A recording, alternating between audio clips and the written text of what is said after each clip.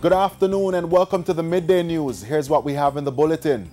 Protest at PNP headquarters as disunity deepen. Political parties say they aren't worried about the latest party standings poll results. And MVP opens up about the future of triple Olympic champion Elaine Thompson Herah. I'm Anthony Lugg. Here are the details. Up first this afternoon, controversial People's National Party activist Karen Cross says party president Mark Golding must go. This morning, Ms. Cross led a protest at the PNP headquarters in St. Andrew where she accused Mr. Golding of failing to address the disunity in the party. Our reporter Sandy Williams filed this report. Upon arriving at the PNP headquarters on Old Hope Road in St. Andrew, a handful of supporters were seen protesting at the main gate. Though the gate was locked, that did not stop the protesters from voicing their concern. PNP activist Karen Cross, who spearheaded the protest, wants party leader Mark Golding and General Secretary Dr. Dayton Campbell to resign. We want the resignation of Mark Golding and Dayton Campbell. There's no two way about that. Them, them not able to bring it together. No, no, there's no effort that they have made to bring it together. There is no record to show that they have made a very honest and humble and truthful and trustworthy effort to unite the party. The PNP has been battling this unity for some time now, and Ms. Cross says the party leader is yet to make an attempt to resolve the matter. In fact, she accused Mr. Golding of attempting to oust several members of the party. He has set himself up in a way that he will continue to divide. Let me give you a classic example. This morning, before I left out of my house, I got a text message on my phone, which is a statement from Comrade McCarthy down in Region 5, the Region 5 chairman, saying that he's withdrawing his, his, um, his intent to offer himself again for Region 5 chairman because he's up against a well-funded campaign by the leadership of the PNP for Karen Spencer to unseat him. And that are, those are kind of things we're talking about. But the party's General Secretary, Dr. Dayton Campbell, says Ms. Cross's claim is not true. No such thing. It is, it is completely opposite to the truth. Completely opposite to the truth. Mark Golding came to the leadership of the party. He, has, he cannot change the members of parliament. So those persons are still there. He cannot change the senators. One resigned and he made one appointment. One. So who would he have ousted? While it may take some time for unity to be restored inside the party, it may take longer among supporters. Mark Golding is irrelevant. He's a imbecile. Him look, him sound like um, Pinochet. Him call police by you. Don't stand beside me. Um, I come to say about my minister, Mark Golding. He is doing a good job. What the PNP needs to do, stop the fight and stop fight against whosoever the people put in the seat for run the country. Reporting from the PNP headquarters in St. Andrew, I'm Sandy Williams for TVJ News. To other news now, the Pan American Health Organization, PAHO, has warned that countries in the region could continue to face localized COVID-19 outbreaks well into 2022. This is even while deaths have fallen from their peak in January.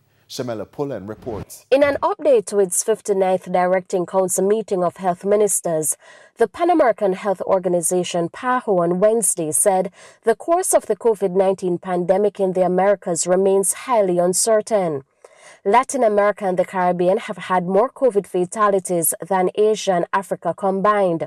Amidst the unrelenting and tragic march of the global COVID 19 pandemic, which as of Friday, the 17th of September, had claimed more than 2.16, 2.16 million lives in the region of the Americas, with 87.6 million cases having been recorded.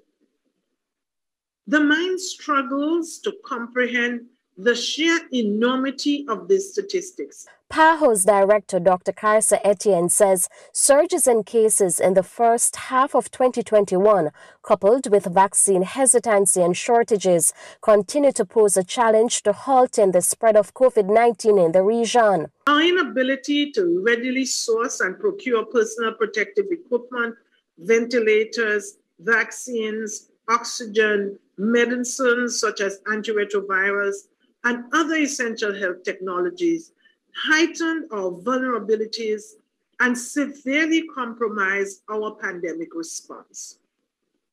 However, this alarming circumstance has galvanized us into recognizing the obligatory need for regional self sufficiency in health technologies. PAHO recently launched a platform to boost regional vaccine efforts. The World Body has recently garnered the support from the World Bank and the IDB to invest in this venture. I want to urge us all to invest in our health systems and swiftly ensure their transformation so they have the capacity to respond to the needs of all people every day and to better respond to pandemics and other disasters when they do occur. Shamela Pullen, TVJ News. In the meantime, the country recorded 435 new COVID 19 cases within the last 24 hours. The country's overall case count now stands at 81,394. The positivity rate has increased to 31.2% from 27.6% on Tuesday. 670 people have been hospitalized with COVID 19. 50 of the patients are critically ill, while 97 are severely ill. There are 27,480 active cases on the island. Meanwhile, six more people have died from COVID 19, pushing the death toll to 1,809. To other news now, a former gangster turned state witness continued to outline one of the murders committed by alleged members of the One Don gang in November 2017. The witness, who is giving evidence via video link, told the court that the alleged gang leader, Andre Blackman Bryan, went to see one of the victims before he was killed in Lauriston, St. Catherine. The witness said he drove Mr. Bryan to the location minutes before the hit was carried out. The witness also testified that Mr. Bryan was elated when he heard the gunfire. The witness is now providing details on a third murder at the trial of the 33 alleged members of the one Don of the one Don gang continues in the Home Circuit Court. And it's now time for a break, but stay with us. More stories when we return. Welcome back to Midday News and thanks for staying with us. It's official. 211 is the number to call to report any incident of child abuse or neglect. Krista Campbell attended Wednesday's virtual launch. 211 now officially replaces 188 Protect, which had been used for the past 10 years as the toll free helpline to report cases of child abuse. The authorities say they found that three digits are much easier for especially younger children to remember if they need to call for help. And since June this year, the Child Protection and Family Services Agency, CPFSA, says there's been a steady increase of over 1,200 reports of child abuse and neglect every month. Overall, 5,796 cases since the start of this year. State Minister for Youth Robert Morgan notes that because child abuse happens at all hours, the 211 helpline will be manned throughout the day. So it is important that children have a quick access to a number which can they can use as close to the incident of abuse as possible.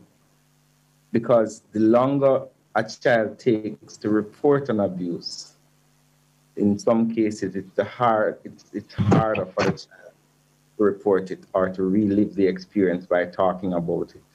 CPFSA CEO Rosalee Gage Grey says the helpline has been operational since June this year and specially trained officers have been assigned to take calls in every parish. She says they, as well as social workers, are on call at all hours and they work with the police when there are emergency situations. A child would call on the line or would send us a message and we have an officer who would be speaking to that child whilst another is trying to get to the location. So we usually, in those cases, um, especially if a child is suicidal, Child psychologist Dr. Kai Morgan says the helpline will be vital in addressing the emotional impact of child abuse. She notes that many abused or neglected children have learning issues because of the trauma they suffered. They're more vulnerable and at risk for things like depression, for things like substance abuse, right? So, including um, alcohol, smoking, they're more likely, they're many times more likely to, to smoke, to drink alcohol, to have depression to have also physical health problems when they get older, right? So I'm talking about things like um, like hypertension, right? And there have been very clear studies that show the, re- the response between heart disease, right? Pulmonary disease, depression, cancer, even, right? At higher rates in, in, in people that have a history of trauma. Krista Campbell, TVJ News. Several customers along the Hellshire Beach in Portmore St. Catherine remain without water this afternoon following an operation by the National Water Commission yesterday. It was revealed that the customers owe the company millions. More in this report. From 11 a.m., our news team got word that a team from the National Water Commission were removing illegal connections along Hellshire Beach. Upon arrival, the operators barred our news team from entering to capture the proceedings, but we were not deterred. As we stood outside the gates, we obtained images captured by eyewitnesses as the NWC team removed the illegal connections. Our news team caught up with the community relations manager for the Eastern Division, Delano Williams, just outside the property. Some of them have tapped into the, the service mains inside the meter banks themselves. Uh, so far, we have identified 10 in about the first two hours of our operation, and our work will continue um, along the network to correct any of those situations that we come across. NWC has been on a drive to reduce non revenue water in the parish, and though the project has not been completed, the company has been engaging delinquent customers. At the Hellshire Beach, however, it appears that despite the dialogue, some customers are not taking heed. But just how much are customers along the beach owing? In terms of the overall outstanding balances, we're looking at approximately 8.5 million in terms of um, the overall, that includes active and inactive customer base. 32 active customers with a balance of 1.5 or thereabout. And the larger balance of inactive customers um, running close to 6 million uh, in terms of outstanding balances. Earlier this year, the NWC indicated that it will be targeting eight communities in Portmore St. Catherine in a five year anti water theft project. It's early days yet, but Mr. Williams says the company is making strides. Reactions this afternoon from the two main political parties to the latest RJR Gleaner Don Anderson poll results on voter intention. The data show that the Jamaica Labour Party is leading the People's National Party. The matter was discussed on TVJ's All Angles last night. O'Shane Masters reports. The two major political parties say they are not worried about the results of the latest RJR Gleaner Don Anderson poll. Jamaicans were asked, if elections were called today, who would you vote for? 26% of the respondents said the Jamaica Labour Party, while 17% said the People's National Party. That's a 9 percentage points lead for the JLP.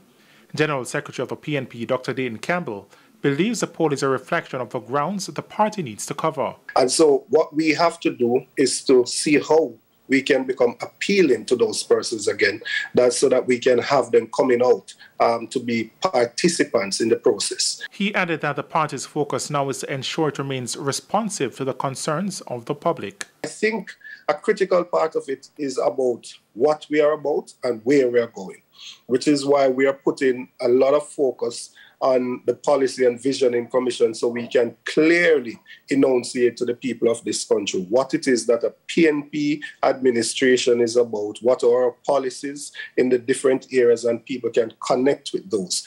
Chairman of the JLP's Public Relations Committee, Matthew Samuda, is also reacting to the latest numbers. I'm pleasantly surprised at how well we're, we're doing in this space. The the 42% positivity rating of leader of the party, the, the performance rating of the government taking the tough decisions that we've had to take. When you consider the non-clinical measures that go along with COVID that have ravaged governments right across the, the, the globe, to be in the space that we are, um, we're not going to take it for granted. We're actually quite quite happy. The poll also showed that 57% of respondents either would not vote or were not sure who they would vote for. Political commentator Nadine Spence believes both political parties are unattractive to young people. Both parties do very little to engage voters, the new voter, the non-traditional voter. And I don't see um, and this, this, this interest in getting a younger generation enrolled in the parties and becoming interested in, in, in, in the party politics and wanting to participate, wanting to be vote, wanting to be voters. Another political commentator, Chris Stokes, says the disunity in the PNP will affect the party greatly if something is not done about it. How does the, the PNP position itself? Is it uh, efficiency? That's that's a difficult sell. And so time needs to they need to spend some time on that. The first thing, though, is leadership and bringing the party together. Otherwise, as has been happening, it will rip itself apart from the inside. Oshane Masters, TVJ News. We go now to a look at the top regional and international stories. Here's the U.S. Special Envoy for Haiti has resigned in protest over the deportation of Haitian migrants. In his resignation letter, Daniel Foote said the U.S. decision to deport the immigrants was inhumane. Mr. Foote said the U.S. approach to Haiti was deeply flawed and that his advice had been ignored. He said Haiti is racked with poverty, crime, government corruption, and a lack of humanitarian resources. Further overseas, Pfizer's booster has gotten the FDA's emergency use authorization. And today, a CDC panel will decide whether to recommend it, then the CDC director signs off. The booster is targeted at people 65 and over those at risk of severe disease and people at risk because of their jobs, like healthcare workers, teachers, and grocery workers. The CDC is expected to fine tune recommendations on how boosters should be given. And that's it for the top regional and international stories. I'm Shane Masters. And we head now to a quick break. When we return, we'll have your midday sports report. Simon Preston is standing by. Simon, good afternoon. Welcome back. It's now time for Midday Sports. I'm Simon Preston. Veteran coach of the MVP track club, Stephen Francis, is remaining coy about the future of triple Olympic champion and the fastest woman alive over the 100 and 200 metres, Elaine Thompson-Herah with the club. When contacted by the Gleaner Group on Thursday morning about the letter sent by Thompson-Herah about her intention to leave the club, Francis was evasive.